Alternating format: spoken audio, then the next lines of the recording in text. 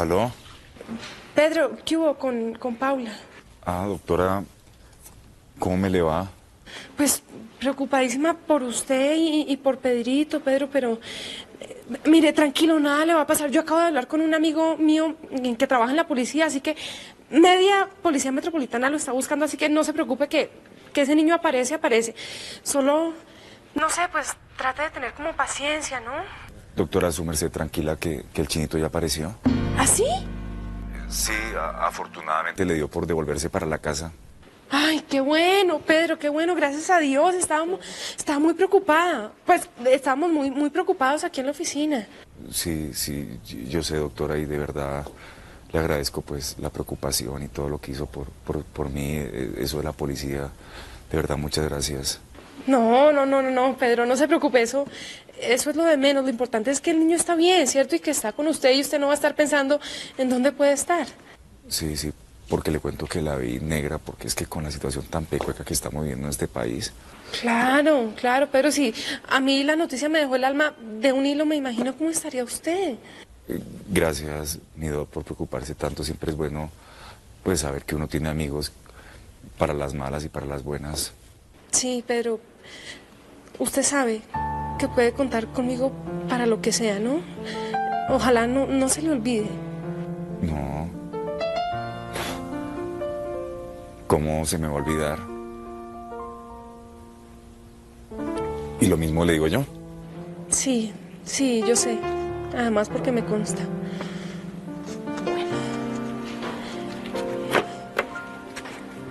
Eh, bueno, eh, Pedro, entonces me alegra de verdad que, que todo haya salido bien y pues nada, estamos hablando.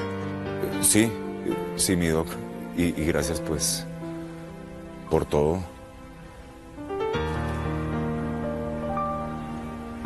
Adiós, mi doc.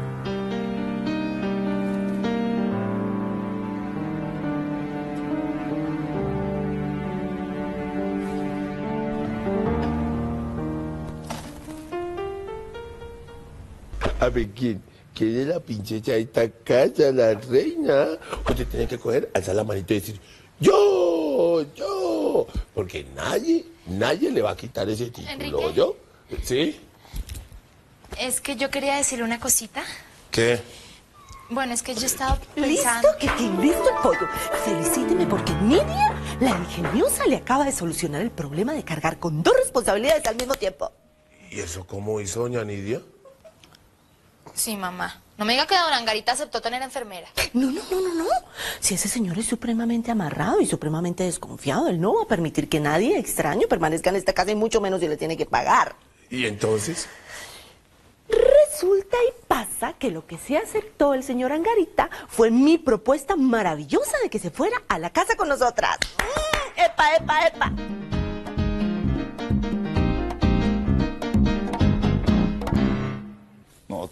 Ese chino se me fue de las manos. Ya no me quiere, ya no me respeta, ya no siente nada por mí. Yo ya no sé qué carajos voy a hacer. Lo que pasa, Pedro, qué pena que le diga esto, pero es que hay papás que tratan a los hijos como si fueran bobitos, ¿no?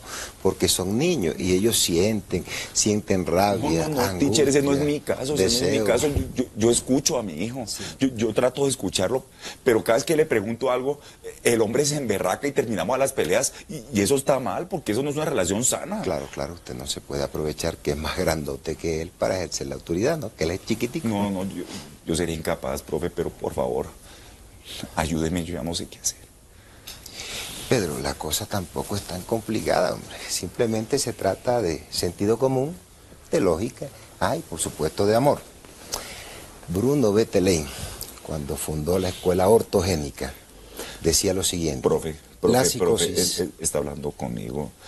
Yo ni siquiera tengo un berraco cartón de bachiller, entonces tratemos de hablar en cristiano.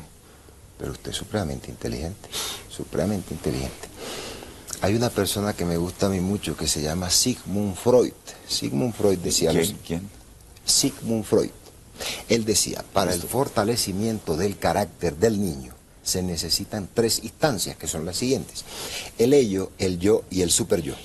El ello es la reunión de esas pulsiones tanáticas de destrucción que se necesitan para que el, Sí, sí, me, me explico. No, profe, no entiendo. Bien, no, pero vamos bien, vamos bien. Te la voy a poner más fácil. El ello es como nidita.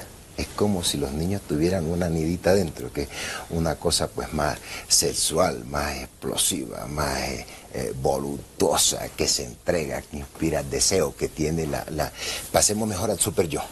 El super yo es un poco parecida ya a Pepita, que es la cosa de la internalización de las figuras de autoridad.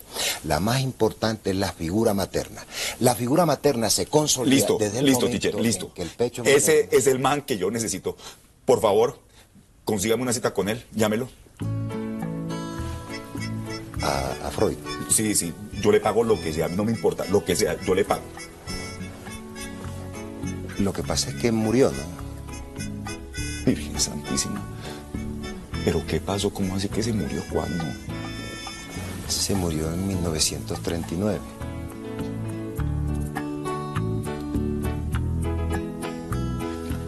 Claro, claro que, que él, él tenía razón, porque es que, pues lo de la figura materna y todo eso, porque es que Pedrinchi no ha tenido figura materna. Ni siquiera ha tenido figura paterna, porque ah, yo hace muy poco me enteré de la existencia de él y... Tranquilo, Pedro, no es solo tu caso, hombre. La mayoría de niños, bueno, por lo menos un alto porcentaje de los pelados ahora, el papá aparece los fines de semana, si no lo cuidan es la muchacha del servicio, el abuelo, los tíos, los vecinos y los profesores. Para serte sincero, no todos los profesores son idóneos, hay unos que carajo.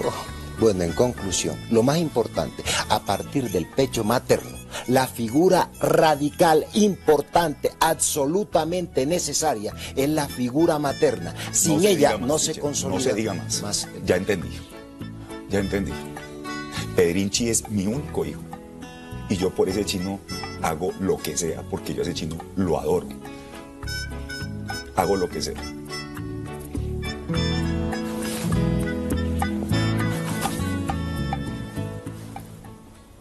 A ver, mi amorcito, yo quiero que tú trates de entender a tu papito. Es que no te imaginas cómo se puso de mal cuando se enteró que tú te habías perdido.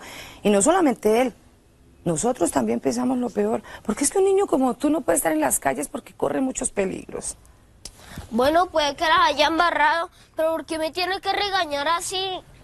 Bueno, es que él, él hace lo que puede. Además, jovencito, tú también tuviste mucha culpa en eso, ¿o no? Le contestaste muy mal y fuiste muy altanero.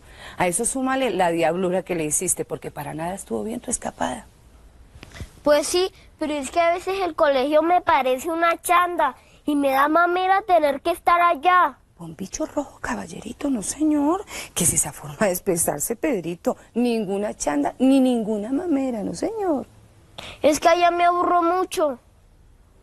A ver, Pedrito, yo te voy a explicar una de las cosas. A veces en la vida nosotros hacemos cosas que, nos aburren, eso es cierto. Pero qué tal que todo el mundo pensara como tú, ah, no, yo estoy aburrido, yo me voy para la calle a jugar, a estar en la calle delicioso. Entonces, ¿qué pasaría? Que las calles se llenarían de gente, ¿verdad? ¿Y qué pasaría con esa gente? Pues que las echarían del trabajo, mi amor. Entonces lo que tienes que aprender es que, pues en la vida tenemos que hacer cosas que aunque no nos gusten, pues tenemos que cumplir con ellas. Por ejemplo, una de esas es mm, ir a estudiar, ¿verdad? Hartísimo, pero toca. Y otra de ellas es a veces ir a trabajar.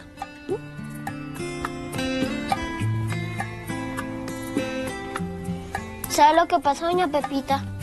No, mi amor. Cuéntame, ¿qué pasa? A ver, papito. Que yo quiero volver a vivir donde mi abuelita. Un tipo muy visajoso, caliente y muy guapachoso. Él se enamora al instante, ese es Pedro el escamoso. Se levanta tu